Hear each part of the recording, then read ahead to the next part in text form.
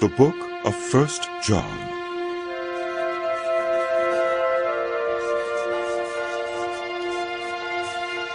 That which was from the beginning, which we have heard, which we have seen with our eyes, which we have looked at, and our hands have touched, this we proclaim concerning the word of life. The life appeared. We have seen it and testify to it. And we proclaim to you the eternal life which was with the Father and has appeared to us. We proclaim to you what we have seen and heard, so that you also may have fellowship with us. And our fellowship is with the Father and with his Son, Jesus Christ. We write this to make our joy complete. This is the message we have heard from him and declare to you. God is light. In him there is no darkness at all. If we claim to have fellowship with him and yet walk in the darkness, we lie and do not live out the truth. But if we walk in the light, as he is in the light, we have fellowship with one another, and the blood of Jesus, his Son, purifies us from all sin. If we claim to be without sin, we deceive ourselves, and the truth is not in us. If we confess our sins, he is faithful and just, and will forgive us our sins and purify us from all unrighteousness. If we claim we have not sinned, we make him out to be a liar, and his word is not in us. My dear children, I write this to you so that you will not sin. But if anybody does sin, we have an advocate with the Father, Jesus Christ, the righteous one. He is the atoning sacrifice for our sins, and not only for ours, but also for the sins of the whole world. We know that we have come to know him if we keep his commands. Those who say, I know him, but do not do what he commands are liars, and the truth is not in them. But if anyone obeys his word, love for God is truly made complete in them. This is how we know we are in him. Whoever claims to live in him must live as Jesus did. Dear friends, I am not writing you a new command, but an old one, which you have heard since the beginning. This old command is the message you have heard. Yet I am writing you a new command. Its truth is seen in him and in you, because the darkness is passing and the true light is already shining. Those who claim to be in the light but hate a fellow believer are still in the darkness. Those who love their fellow believers live in the light, and there is nothing in them to make them stumble. But those who hate a fellow believer are in the darkness and walk around in the darkness. They do not know where they are going because the darkness has blinded them. I am writing to you, dear children, because your sins have been forgiven on account of his name. I am writing to you, fathers, because you know him who is from the beginning. I am writing to you, young people, because you have overcome the evil one. I write to you, dear children, because you know the Father. I write to you, fathers, because you know him who is from the beginning. I write to you, young people, because you are strong, and the word of God lives in you, and you have overcome the evil one. Do not love the world, or anything in the world. If you love the world, love for the Father is not in you. For everything in the world, the cravings of sinful people, the lust of their eyes, and their boasting about what they have and do comes not from the Father, but from the world. The world and its desires pass away, but whoever does the will of God lives forever. Dear children, this is the last hour. And as you have heard that the Antichrist is coming, even now, many Antichrists have come. This is how we know it is the last hour. They went out from us, but they did not really belong to us. For if they had belonged to us, they would have remained with us. But their going showed that none of them belonged to us. But you have an anointing from the Holy One, and all of you know the truth. I do not write to you because you do not know the truth, but because you do know it, and because no lie comes from the truth. Who is the liar? It is whoever denies that Jesus is the Messiah. Such a person is the Antichrist, denying the Father and the Son. No one who denies the Son has the Father. Whoever acknowledges the Son has the Father also. As for you, see that what you have heard from the beginning remains in you. If it does, you also will remain in the Son and in the Father. And this is what he promised us, eternal life. I am writing these things to you about those who are trying to lead you astray. As for you, the anointing you received from him remains in you, and you do not need anyone to teach you. But as his anointing teaches you about all things, and as that anointing is real, not counterfeit, just as it has taught you, remain in him. And now, dear children, continue in him, so that when he appears we may be confident and unashamed before him at his coming. If you know that he is righteous, you know that everyone who does what is right has been born of him. See what great love the Father has lavished on us that we should be called children of God. And that is what we are. The reason the world does not know us is that it did not know Him. Dear friends, now we are children of God, and what we will be has not yet been made known. But we know that when Christ appears, we shall be like him, for we shall see him as he is. All who have this hope in him purify themselves just as he is pure. Everyone who sins breaks the law. In fact, sin is lawlessness. But you know that he appeared so that he might take away our sins. And in him is no sin. No one who lives in him keeps on sinning. No one who continues to sin has either seen him or known him. Dear children, do not let anyone lead you astray. The one who does what is right is righteous, just as he is righteous. The one who does what is sinful is of the devil, because the devil has been sinning from the beginning. The reason the Son of God appeared was to destroy the devil's work. Those who are born of God will not continue to sin because God's seed remains in them.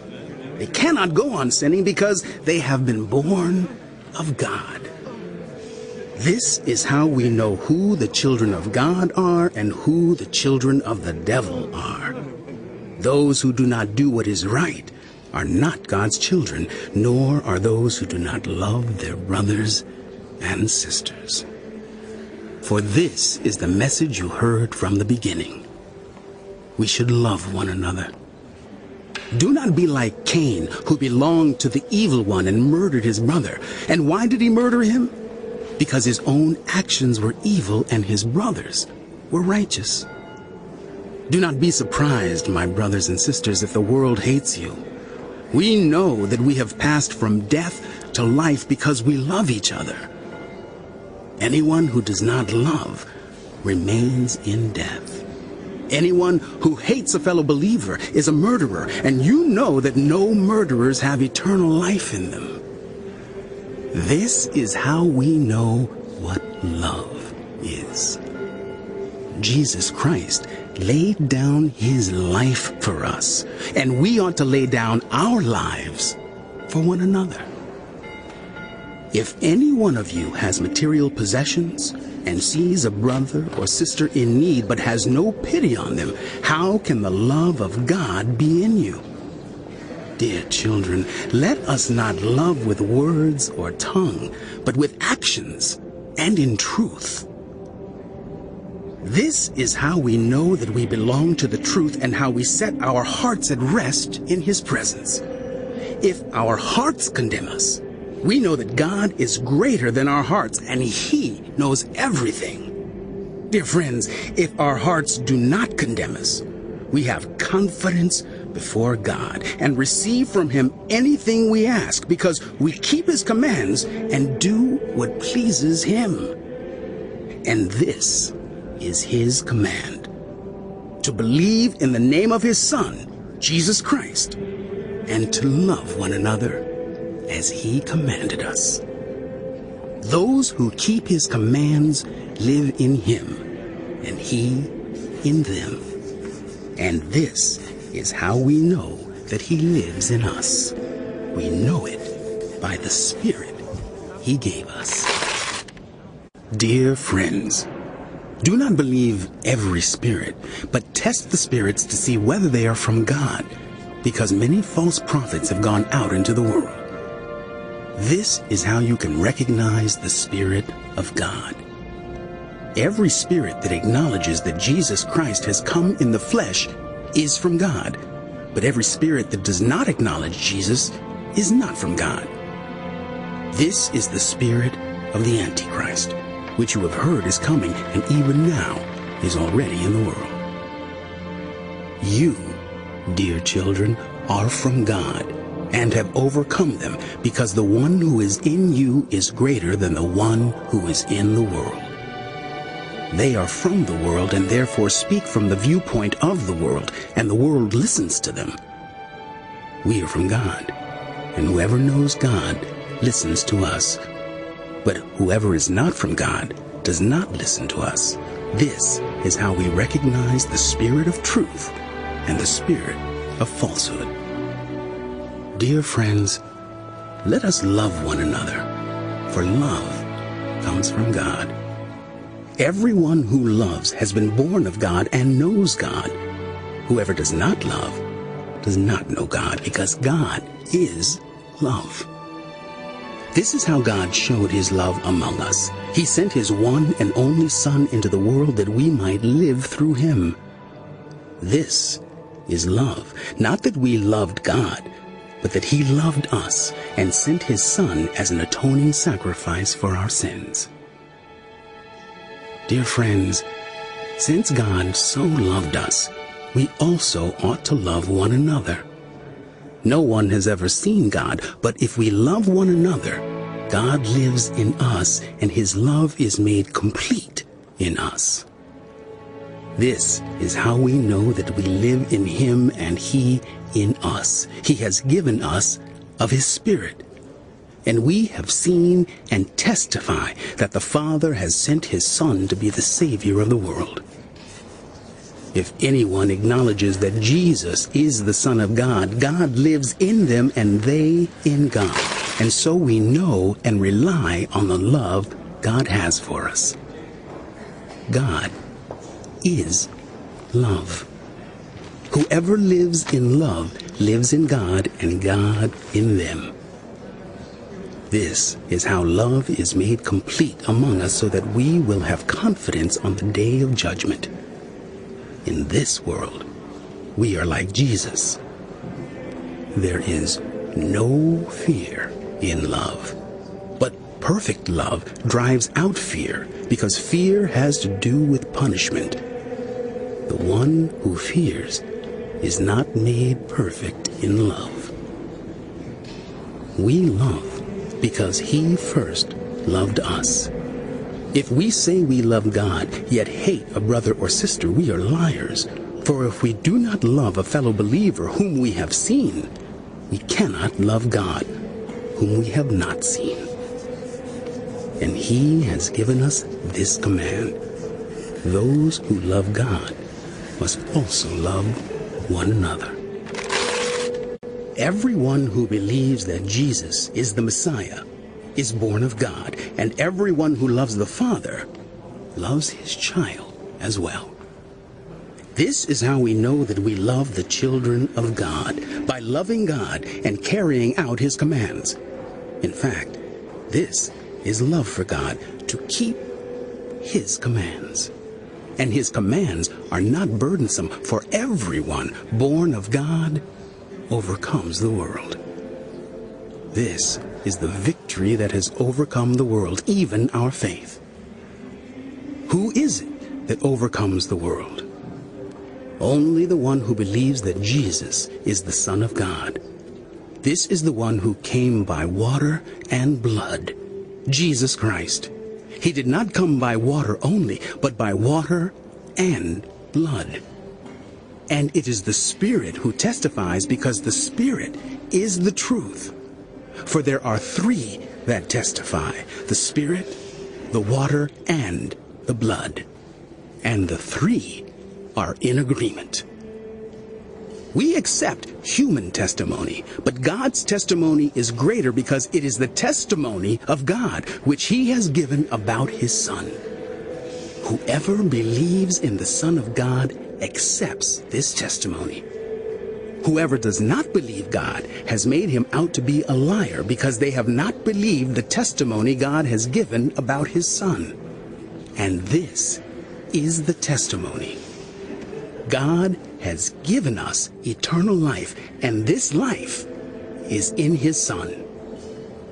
Whoever has the Son has life. Whoever does not have the Son of God does not have life. I write these things to you who believe in the name of the Son of God, so that you may know that you have eternal life. This is the confidence we have in approaching God, that if we ask anything according to His will, He hears us.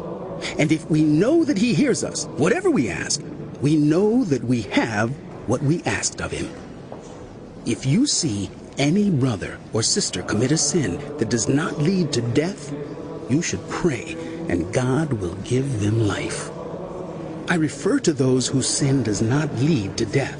There is a sin that leads to death.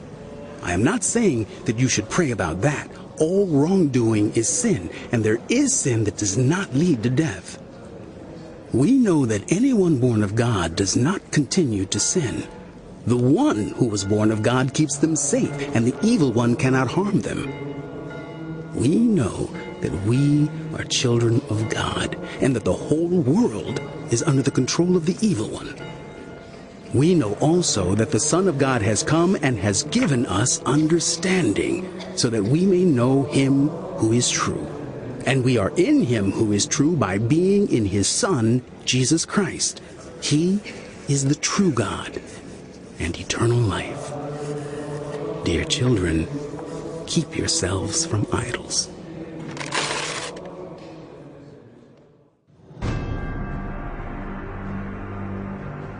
The end of the book of First John.